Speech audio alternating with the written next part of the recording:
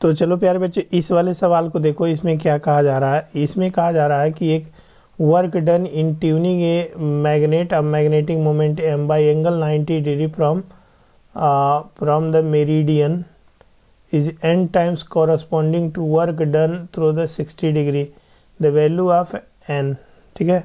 तो जो है, अब यहाँ से देखोगे तो from the meridian from the meridian मतलब ये होता है दो पार्ट में क्वेश्चन को डिवाइड कर दो। पहला पार्ट में जो है from the meridian this is the first part of the question तो ये फ़र्स्ट पार्ट है तो फ्रॉम द मेरिडियन मतलब ये होता है कि अगर ये मैग्नेटिक फ़ील्ड है और मेरिडियन वाली जो लाइन है, अपना मैग्नेट ऐसे था।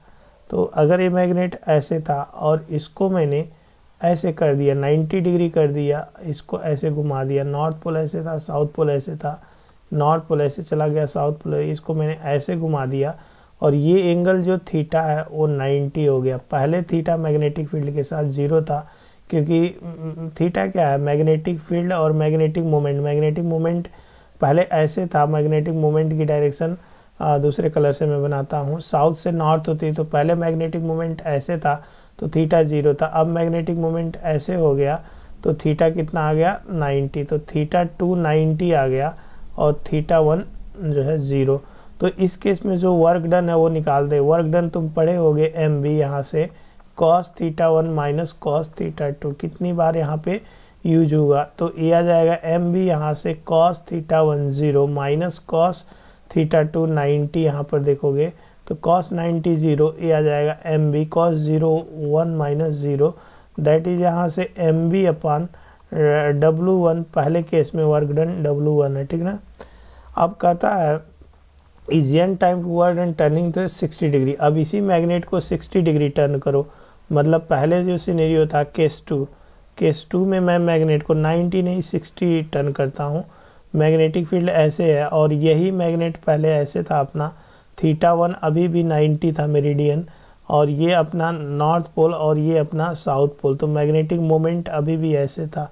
अब इस मैग्नेट को मैं कितना टर्निंग दिया? तो इस मैग्नेट को मैं दिया थीटा 60 डिग्री तो ये थीटा आ, आ गया अपना 60 डिग्री तो अगर ये 60 डिग्री आ गया this theta is theta two is equal to sixty degree तो अगर ये थीटा 60 डिग्री आ गया यहाँ पे तो अगर तुम देखोगे ये थीटा 60 है तो इस केस में वर्क डन डब्लू टू और ये आ जाएगा एम बी यहाँ से कॉस ज़ीरो माइनस कॉस यहाँ से थीटा टू ठीक है? थीटा वन और एक बार आपके लिए फार्मूला दोबारा लिख देते हैं।